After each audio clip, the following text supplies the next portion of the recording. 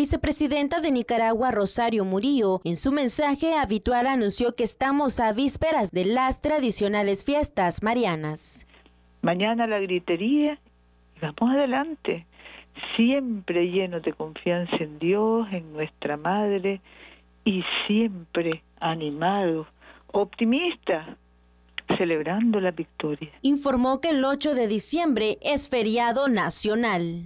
Buenas nuevas que tenemos el comunicado del Ministerio del Trabajo confirmando que el 8 de diciembre es feriado, fiesta nacional, la celebración de las purísimas, de la Inmaculada Concepción de María.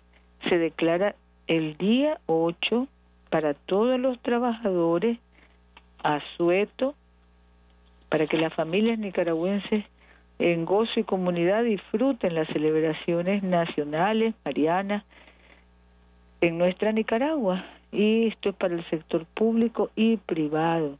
Se exceptúan los trabajos que no puedan interrumpirse por su naturaleza o por la índole de las necesidades que satisfacen.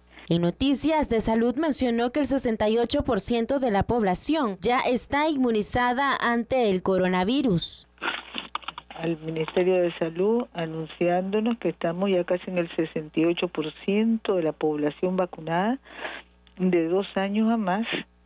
Gracias a Dios, gracias a todas las gestiones, gracias a toda la cooperación solidaria y gracias a nuestro pueblo que acude a vacunarse sin negar el riesgo que se corre cuando no estás inmunizado o sin negar también o sin negar, y sin negar también que es necesario usar las mascarillas y continuar tomando todas las medidas que recomiendan las autoridades nacionales e internacionales de salud. Asimismo, dio a conocer que el 12 y 13 de diciembre se realizará la entrega de juguetes a niños y niñas que culminaron con éxito su año escolar. Los juguetes que están que han venido saliendo y están llegando a sus municipios para entregarse a partir del día 12, 13.